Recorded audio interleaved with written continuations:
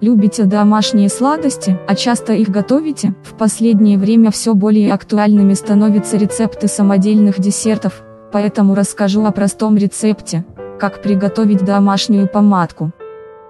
Вам понадобится время на приготовление, ведь готовые сладости нужно поставить в холодильник и выждать, пока они застынут. Вы можете придать таким конфетам вкус ванили или миндаля, готовые лакомства храните в пластиковом контейнере или в стеклянной банке, по вкусу мне напоминает нечто среднее между ирисками и вареным сгущенным молоком.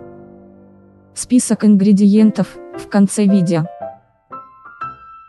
1. В казанок налейте воду и добавьте сахарный песок, отправьте казанок на огонь и варите до растворения сахара.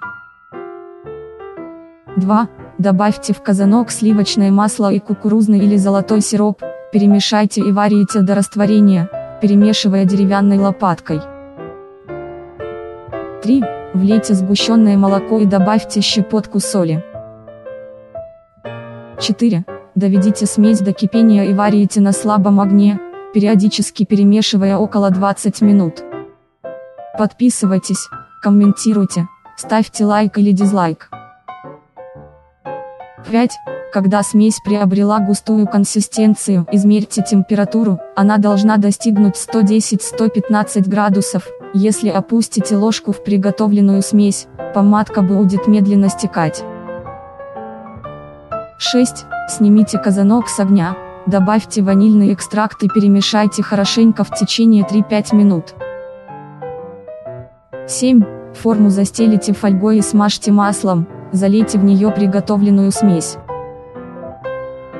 8. Оставьте форму на столе или отправьте в холодильник на 2-4 часа, затем нарежьте кусочками.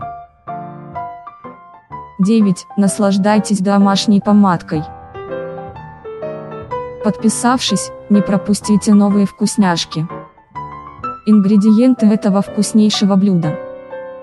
Сахар, 2 стакана, вода, 5 столовые ложек, сливочное масло, 4 столовые ложки, золотой сироп или кукурузный, 2 столовые ложки, сгущенное молоко, 400 грамм, соль, 0,5 чайных ложки, ванильный экстракт, 1 чайная ложка, количество порций, 8.